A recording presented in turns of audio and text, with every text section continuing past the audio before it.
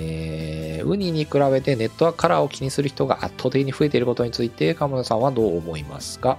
個人的にはランクマはランクポイントを上げる遊びだと思っているので、カラーはあまり気にしていないので、不思議に思えて仕方ないです。まあ、そうですね。まあ、私もその気持ちではあったんですけど、まあ、その、直近のゲームとか、いろんな他のタイトルを見ると、やっぱああいうアルファベットとかの表記が何より全てに見えてしまうっていうのは、確かにそうだなと思って、私も反省はしております。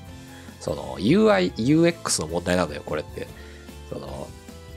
あ、そういう風に見えちゃうんだっていうのがね、あの、理解できてなかった、俺が。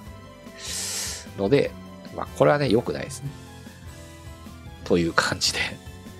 えー、不思議には思えるっていうのも理解できるんですけど、まあ、格ゲーとかじゃない普通のゲームの一般的な視点で言うと、まあ、そうかもな、みたいな気がします。はい。